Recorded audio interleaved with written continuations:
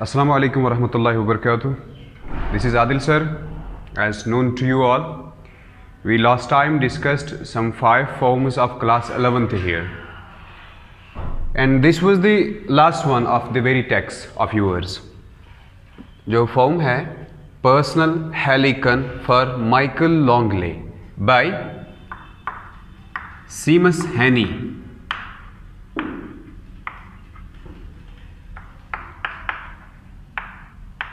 सीमस हैने की जो फॉर्म थी, हमारी इनकम्प्लीट परहप्स रह गई थी।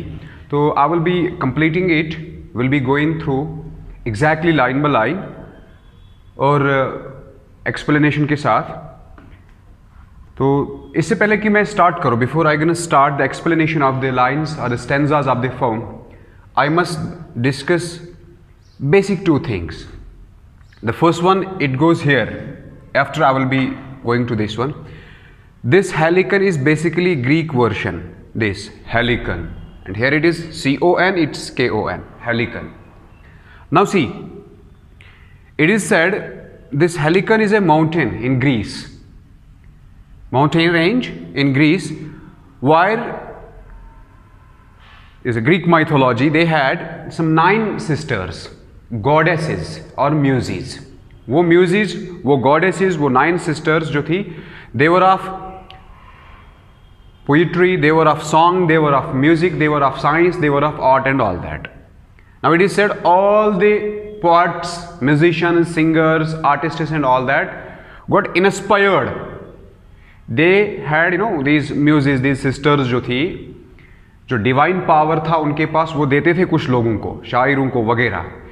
इसी तरह से, इसी तरह से same is the case I hope कि you understood the thing Helicon जो है ग्रीक वर्जन में ये हेलिकन एक माउंटेन रेंज है ग्रीस में।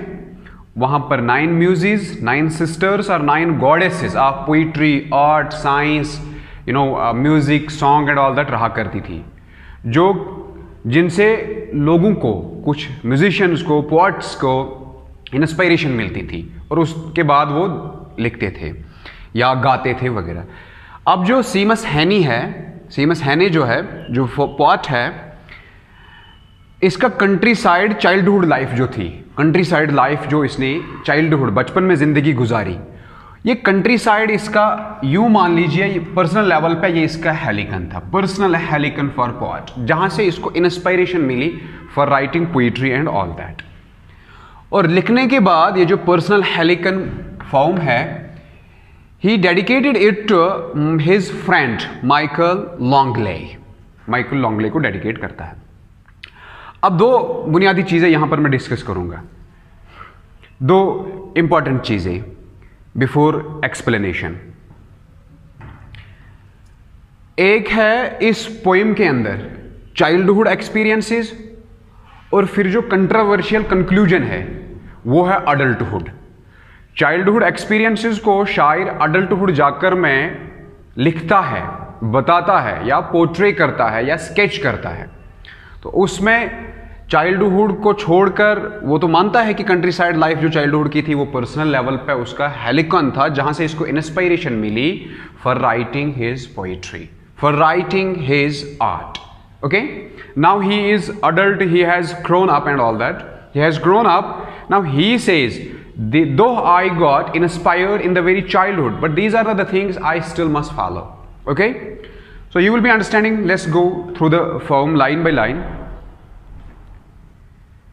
As a child now pay attention to this and listen carefully. You can keep book before you. I will be explaining the form you know it's every line each one.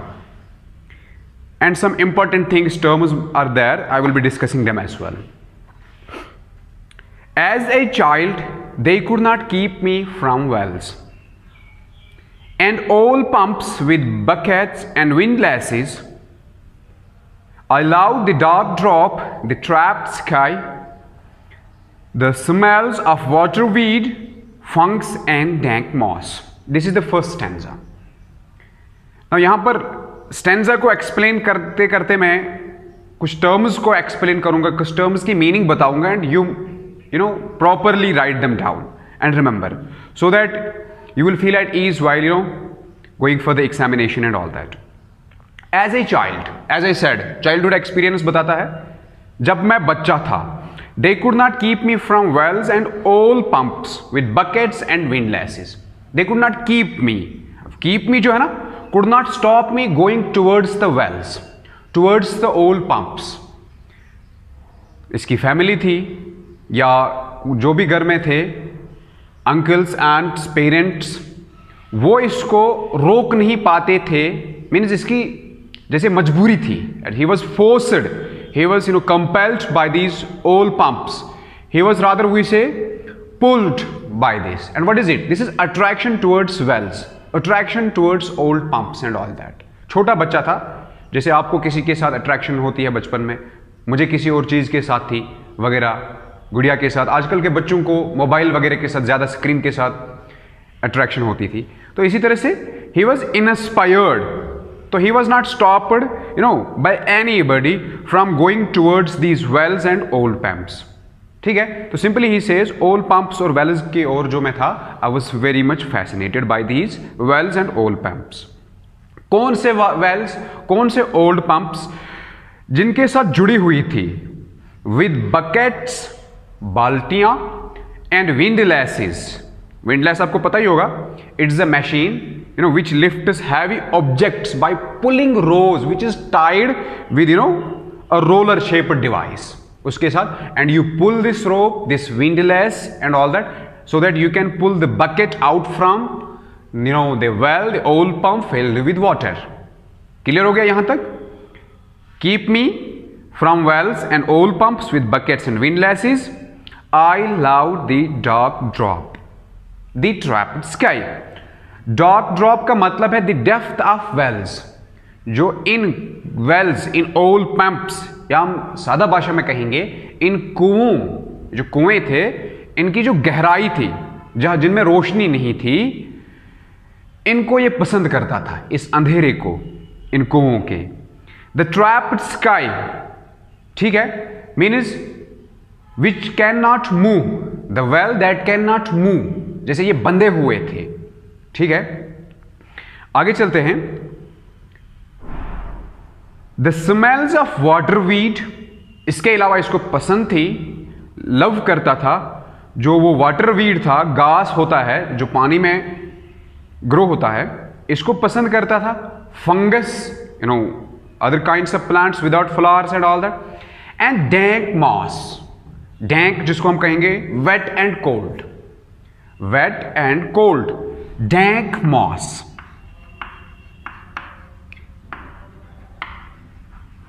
dank को हम कहेंगे wet and cold moss is another kind of you know green vegetation it's another kind of green vegetation you know growing near wet places and all that किसी जगह पे पानी ज़्यादा देर तक रहेगा, कुछ दिनों तक रहेगा, हफ्तों तक रहेगा, महीनों तक रहेगा the water remains as longer there तो ये जो वहाँ पे ज़मीन है, वहाँ पर एक किस्म का मॉस, वो घास चढ़ता है।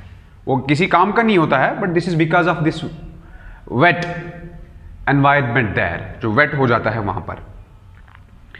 ये हो गया पहला stanza second stanza now see the very beauty of the form इस नज़म की खूबसूरती को देखिए। और इस जो जो सीमस हैनी है, इसका अंदाज देखिए अभी बड़ा हो गया। ये बचपन को किस तरह से ऑलमोस्ट एवरीथिंग नो उसको ड्रॉ करता है। He writes that he portrays that he puts that on paper अब देखिए एंजॉय करेंगे इसको।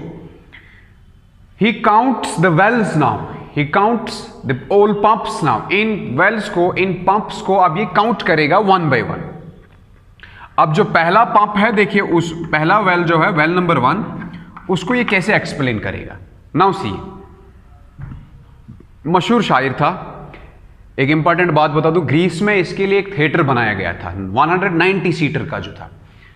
जो अभी भी है और जहाँ पर इसी की इसी की पोइट्री वगैरह, इसी का लिटरेचर वगैरह अभी भी पढ़ा जाता है एंजॉय किया जाता है।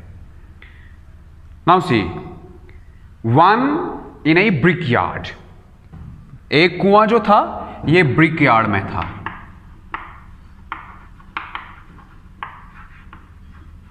तो simply yard made up of bricks ईटों से बना हुआ यार्ड था, वहाँ पर एक कुआँ था।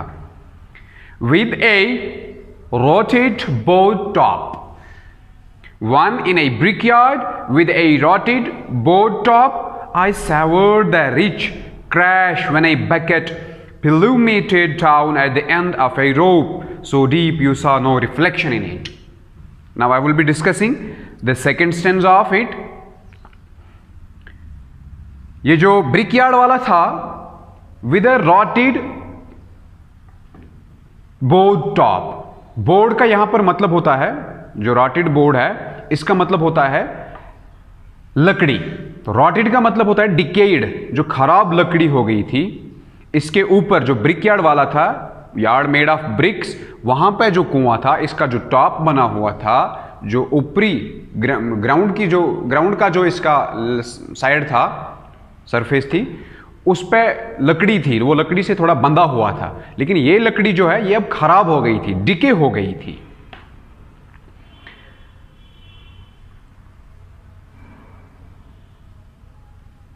I savoured the rich crash when I bucket plummeted down savoured मतलब एंजॉयड अब कहता है शायर खुद ही Seamus Heaney says he savoured he enjoyed what the rich crash means the clean sound, sound without any disturbance. Means it was you know such a sound which you could guess it's exactly the sound of the bucket when it is dropped into the well.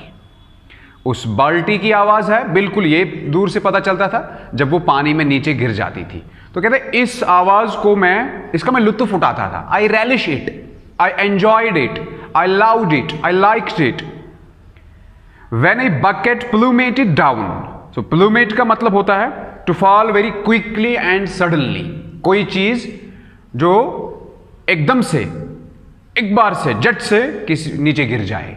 तो ये बाल्टी जो नीचे अब फेंकते थे, रस्सी को धीरे धीरे नहीं, रस्सी को छोड़कर जो बाल्टी सीधे पानी पर टकराती थी नीचे, अंधेरे में, कुएँ में, ये इस कुएँ के बारे में बताता है। जब ये बाल्टी पानी पे, वहाँ से जो आवाज़ निकलती थी, साफ़ आवाज़ जो आती थी ऊपर अब देखो, इस ये कुआँ बंदा हुआ था।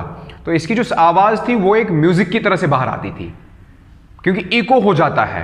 क्योंकि कुआँ जो है साइड से बंदा हुआ है, ऊपर तक। नीचे से जो आवाज़ ऊपर आती थी तो it was you know loaded with like you know music तो उस आवाज़ को ये पसंद करता था। प्लूमेटेड डाउन जब ये बकेट नीचे पानी पे गिर जाती थी at the end of a rope जो रस्सी के एक साइड से बंधी हुई होती थी। जैसे हम, मैं यहाँ पर बनाऊँगा। यहाँ पर ये जो, मान लीजिए ये वो डिवाइस है जो ऊपर यहाँ से रस्सी और इस पे से ये बकेट बंधी हुई है, ठीक है? इस बकेट जो यहाँ से एक साइड रस्सी का है तो ये वाला साइड से रस्सी बंदी ये बकेट बंधी हुई थी। तो इस बकेट को ये छोड़ता था जब पानी में।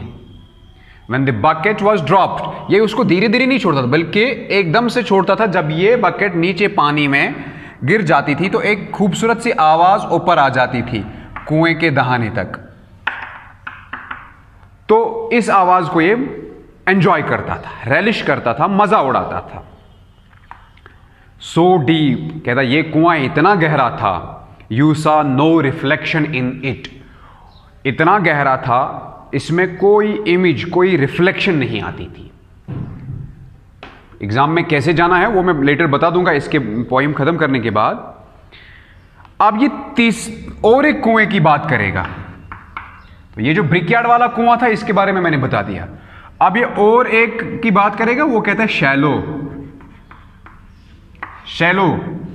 ठीक है? A shallow one, less, sorry, a shallow one under a dry stone ditch fructified like an any aquarium when you dragged out long roots from the soft mulch a white face hovered over the bottom इस वाले कुएँ की जब ये बात करेगा ये वाला कुआँ जो है ये शैलो है means it is less deeper ये ज़्यादा गहरा नहीं है so it's less deep but इसका क्या है under a dry stone ditch ये खुशिक पत्थरों से बना हुआ जैसे था सीधे ये पत्थर इसके नज़र आ रहे थे बोल्डर्स नज़र आ रहे थे under a dry stone ditch ditch means गड्ढा, ठीक है?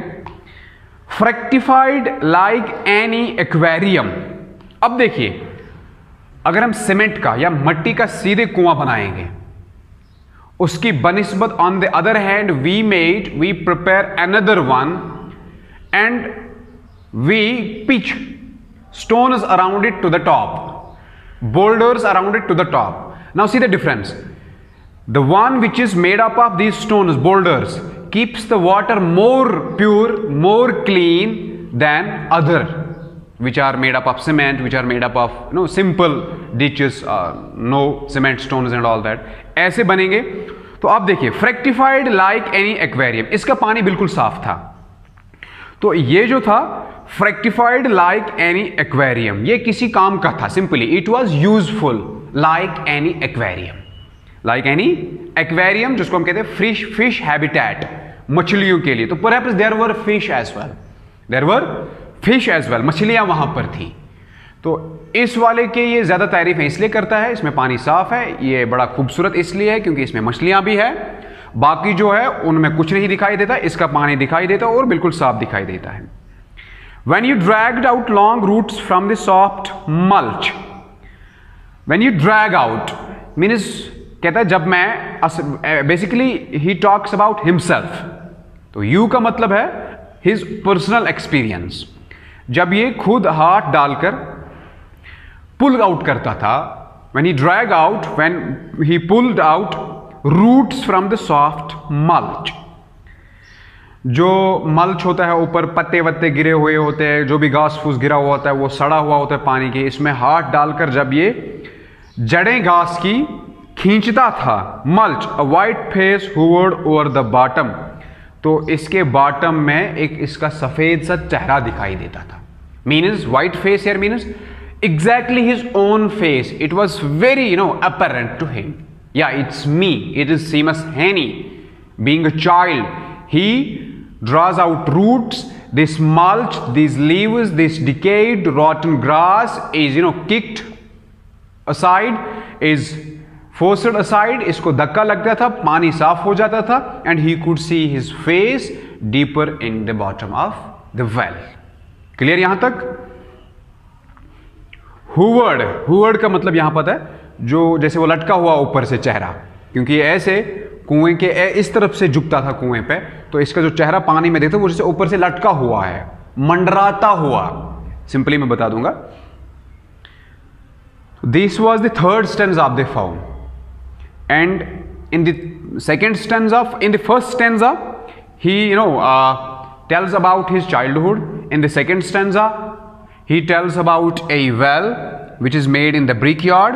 And in the third stanza he tells about a well which is shallow which in which he could see his own face and in which the water is very clean. And it was you know fructified. It bore life like you know like it was an aquarium habitat living place residing place of fish and all that. Now we will be talking in general in the fourth stanza of the poem. चौथे stanza में बताएगा others had echoes others means other wells other old pumps simply आप wells याद रखिएगा। Others had echoes other wells जो थी, थे sorry other wells जो थे they had echoes they gave you sounds back when you call out something in them they gave sound back to you वो वापस आवाज़ जैसे देते थे। तो इको हम उस आवाज़ को कहते हैं which comes back to you it seems as if there is you know your second own on the another end and that gave you your own call back so it echoes ठीक है? एक वो deep गॉड जो होता है, एक valley type जो होती है, इस तरह से कुआँ जो डीप होता है, उसमें आवाज़ करोगे, ये वापस हो जाती है, आपकी ओर आ जाती है। तो इसको हम कहेंगे रिसाउंड हो जाना। रिसाउंडिंग तो ये जो other wells they were resounding your own voice दोबारा से वो आवाज़ क्रिएट करके giving back to you others had echoes gave back your own call with clean new music in it now see ये जो बाकी सारे कुएँ थे, बाकी सारे वेल्स थे, जब आप आवाज़ देते थे तो वो आपकी आवाज़ को वापस देते थे।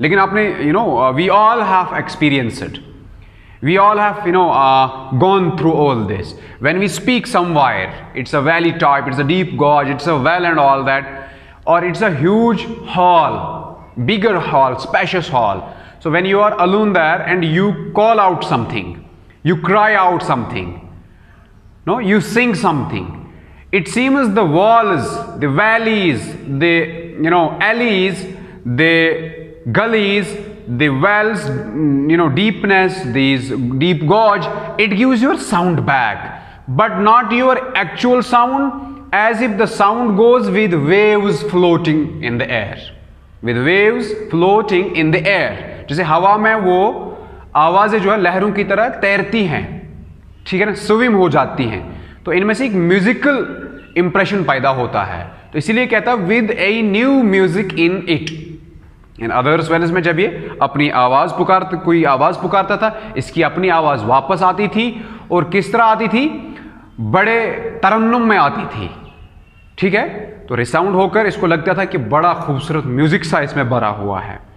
तो सच्चाई भी है। And one was scaresome in other wells में जो अदर्स की जो भी बात करता है, इनमें से एक कुआँ जो था, एक वेल जो था स्केर सम मीनस फ्राइटनिंग डरावना सा ठीक है ना? डरावना सा जैसे आप मूवीज़ वगैरह में देखते हैं। क्यों?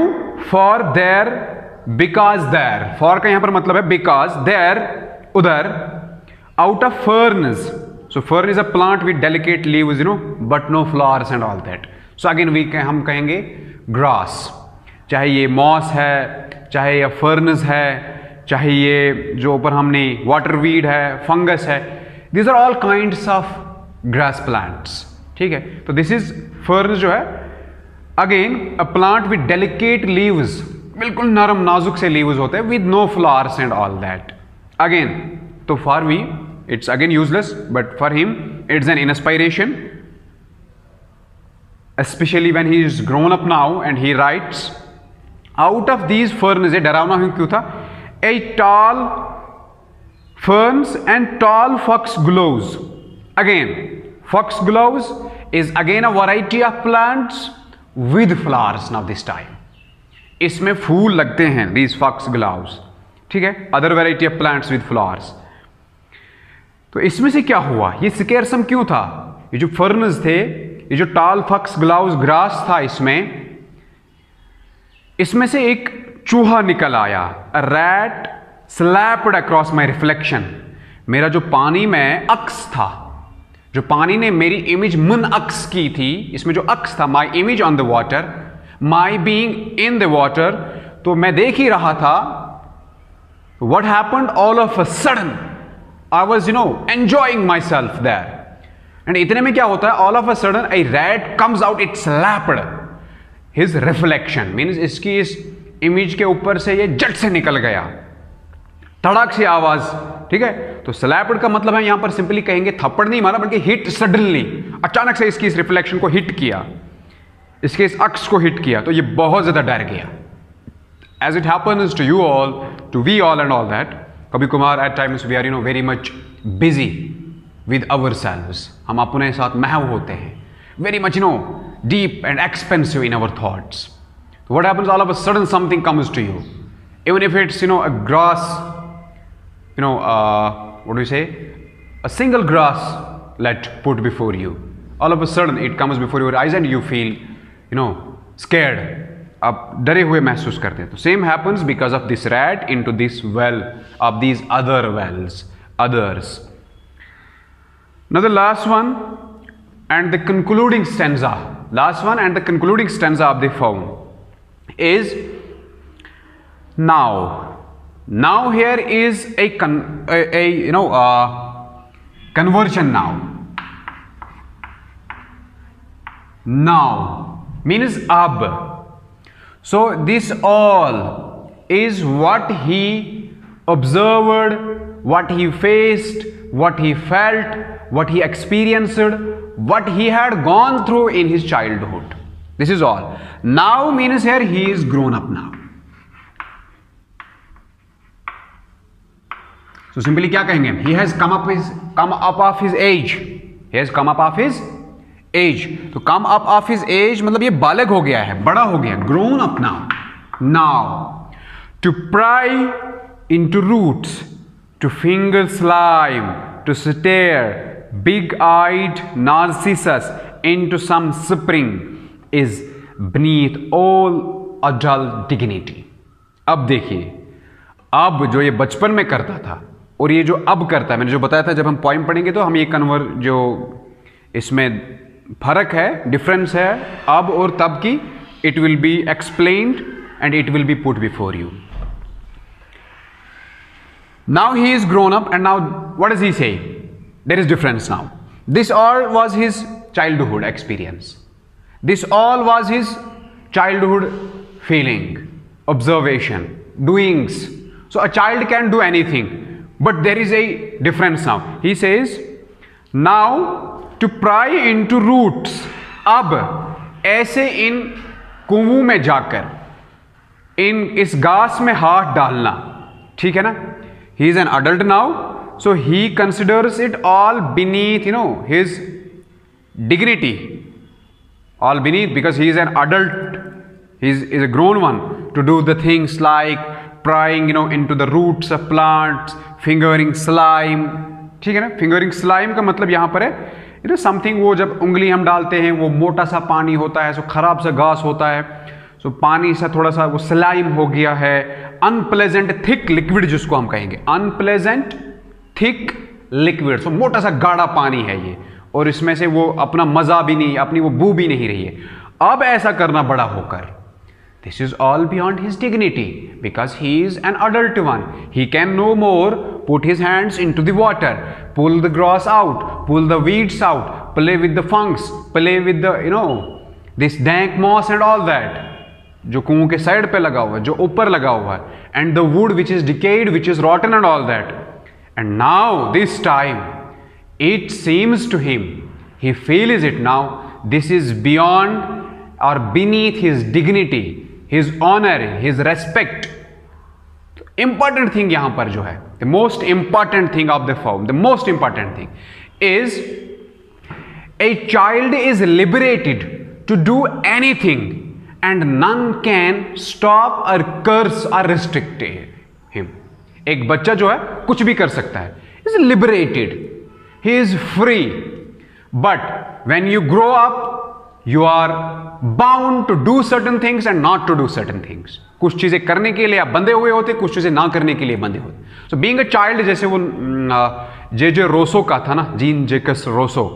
Man is born free but everywhere he is found in chains जब ये पैदा होता है तो आज़ाद होता है। हम यहाँ पर दूसरी मीनिंग ये ले ले से, ये ले सकते हैं। फिलोसोफर्स हैव डिफरेंट ओपिनियंस ठीक है? तो ओवरऑल हम समअप कर सकते हैं मैन इज़ बॉर्न फ्री जो बच्चा है ना, आज़ाद पैदा होता है. Can do anything here according to this form as per this lines which we explained ठीक है? तो बच्चा जो है कुछ भी कर सकता है, लेकिन ये बड़ा होकर अब रिस्ट्रिक्टेड है, ये ये सब अब नहीं कर सकता है. इसको लग रहा है, जो मेरा ऑनर है, जो मेरा रेस्पेक्ट है, जो मेरी डिग्निटी है, उसके खिलाफ है ये सब करना आप टू प्राई हाँ कहाँ पर थे हम? Now to pry into root to finger slime to stare अब देखना इन चीज़ों को और बहुत समय वहाँ पर सर्व करना to consume lot of time there and you keep on watching things keep going and all that none comes to you you have so and so duty to perform आपको वो वो ज़िम्मेदारी है निभाने के लिए। नो नथिंग लाइक दैट कहता, अब ये सब नहीं है। अब ये सब मैं कर ही नहीं सकता हूँ। To pry into the roots means to see to you know paint my hands into the water to touch to pull out the grass इस घास वगैरह को काटना, हाथों से निकालना, खींचना to search into the roots क्या है नीचे, ये सब अब मैं नहीं कर सकता। टू फिंगर स्लाइम और उस गंदे पानी, गाढ़ा, मोटा पानी जो अनप्लेजेंट थिक लिक्विड जो है, जैसे वो मट्टी और पानी बहुत ज़्यादा मिल जाए, बहुत ज़्यादा मिल जाए तो वो एक गाढ़ा सा, मोटा पा उसमें आ जाता है। उसके साथ अब मैं नहीं खेल सकता। टू सिटेयर और अब टुकुर टुकुर मैं नहीं देख सकता। अब मैं टिक टिक नहीं बाँध सकता। इतना मेरे पास समय नहीं है टाइम नहीं है। और इतना करना मेरे के लिए, मेरे लिए अब रिस्ट्रिक्टेड भी हो गया है। अब मुझे कुछ और रिस्पॉन्सिबिलिटीज हैं। और क्या to stare big eyed Narcissus big eyed Narcissus यहाँ पर ये ग्रीक माइथोलॉजी अगेन है। Big eyed Narcissus N A R C I S S U S असल में ये ग्रीक माइथोलॉजी का जो ना, ना, ये नार्सिसस है ये एक हैंडसम बॉय था या यूथ कहिएगा एक खूबसूरत सा जवान बिग आइड नार्सिसस तो ग्रीक माइथोलॉजी में क्या है? कि Narcissus was a handsome boy a handsome lad a handsome youth इतना खूबसूरत था once he saw his own face in water एक बार उसने अपना खुद का चेहरा पानी में देखा। तो we simply can say perhaps there were no mirrors then in then times उस वक्त में तब जाके मिरर्स वगैरह नहीं थे। तो what happened all of a sudden once he saw his own face Narcissus in water and he he no he falls in love with his own face. He fell in love with his own face. हो जाता या हो गया, उसको प्यार अपने ही चेहरे के साथ इतना खूबसूरत वो था। तो इस तरह ये नहीं कर सकता कि ये अपना खुद खूबसूरत चेहरा आप देख सकता है स्पूल वगैरह में तो फिर टुकुर टुकुर देखता रहेगा गेज करता रहेगा। He can not look fix now any more ठीक है? ये सब नहीं कर सकता। उस नार्सिसस की तरह, जिसने अपना चेहरा देखा तो फिर उसके साथ प्यार ही गया तो फिर देखते रह गया। इतना समय अब इसके पास नहीं है। तो big eyed Narcissus into some spring is all beneath is beneath all adult dignity sorry dignity honour तो किसी कुएँ में जो किसी स्प्रिंग में, किसी तालाब में जो उसने चेहरा अपना देखा था तो ये इस तरह नहीं दे सकता है। ये अब बड़ा हो गया है और इसकी शान के खिलाफ है। I rhyme the last line I rhyme means I write मैं लिखता हूँ। तो राइम का यहाँ पर कुछ मतलब लोग निकालते हैं, ये भी है। कुछ राइटर्स कुछ क्रिटिक्स ये भी मतलब निकालते हैं कि I sing the lines the things of the childhood या आई राइट बेटर रहेगा I write to see myself to set the darkness echoing अब मैं ये लिखता हूँ, वो जब बचपन में वो सब जो मेरे साथ हुआ है, ये अब मैं लिखता हूँ I write to see myself ताकि मैं खुद को देखूँ। तो means he keeps himself living in his writings to set the darkness echoing now he writes as adult to make you know the darkness echo उस डार्कनेस उन चीज़ों को ये वापस लाता है कि क्या सब होता था। वो कुओं की डार्कनेस वगैरह किस तरह इको होती थी तो राइटिंग्स में उसको वो सेव करता है। ठीक है? सो ही राइट्स या, और he he can read after somebody else can read after and reflect his thoughts you know through his we through his forms and all that उसकी नज़म के ज़रिए से। अब सी यहाँ पर जो मैंने पहले जो एक चीज़ बताती थी कि कंट्री साइड लाइफ जो बचपन की थी, ये इसका पर्सनल हेलिकॉन था। तो हेलिकन जैसे मैंने बता दिया इंस्पायरेशन जहाँ पर लोगों को मिलती थी वगैरह। तो ये कंट्री साइड लाइफ या ये जो अभी हमने डिस्कस पोइट्री में किया पर्सनल लेवल पर इसका हेलिकन था। तो दिस पर्सनल लेवल का जो हेलिकन था, इसी ने, इस बचपन ने, इन्हीं कुओं ने, इन्हीं वेल्स ने इसको एक इंस्पायरेशन दी थी। To write to become a poet and to become a good poet कितना अच्छा शायर? एज आई सेड ग्रीस में एक थिएटर बनाया गया फिर 90 सीटर का, जहाँ पर लोग जाके इसकी पोइट्री इसके लिटरेचर वगैरह को इन यू नो पढ़कर इंस्पायर हो जाते हैं। हम कहेंगे इंटीमेट 190 सीटर परफॉर्मेंस स्पेस जो ग्रीस में बनाई गई है। 190 seater performance space designed with a nod to the Greek theatre which Seamus Haney is so loud and where you can enjoy theatre, music, song, poetry, readings and talks inspired by his life and literature on the traverse stage. Hope you understood everything. Now simply again, you might have forgotten due to this lockdown and all that, though we are habitual of all these things due to strikes, troubles, turmoils and all that. Again, I will be, you know, uh, telling you how to go through in the examination reference to context जो मैंने बताया था कि नज़म का नाम, शायर का नाम और फिर कॉन्टेक्स्ट किस बारे में वो लिखता है।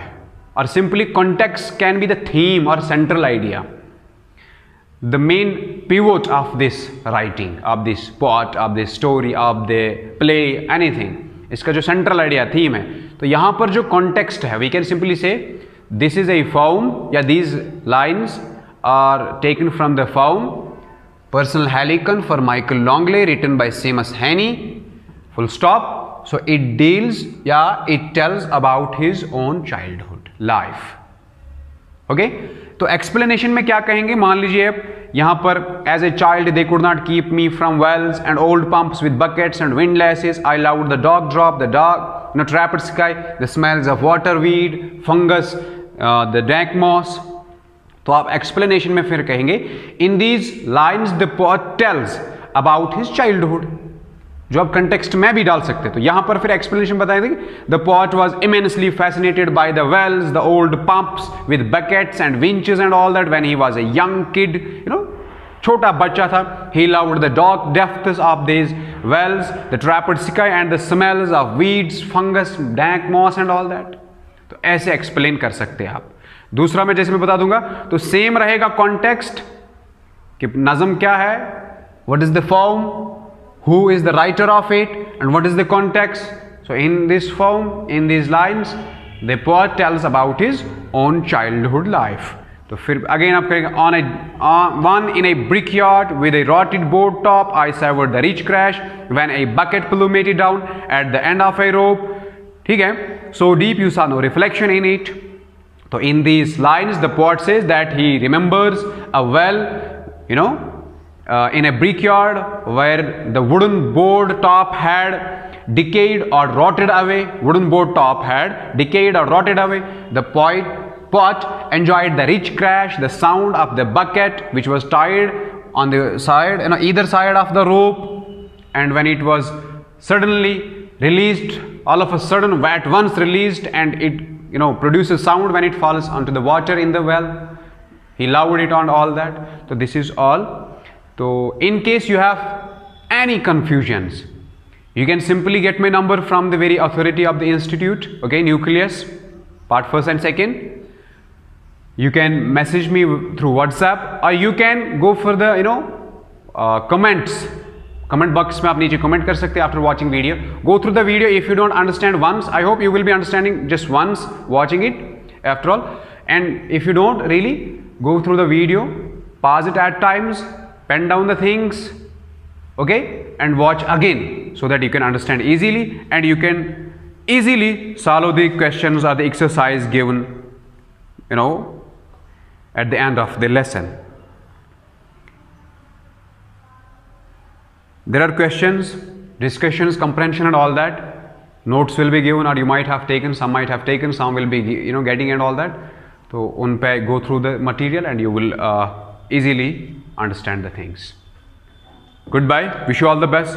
Good luck. Work hard. For you have hardly anybody there to, you know, sit before and to get inspiration, to ask questions and all that due to the very ongoing turmoil and all that, ongoing situation. Wish you all the best.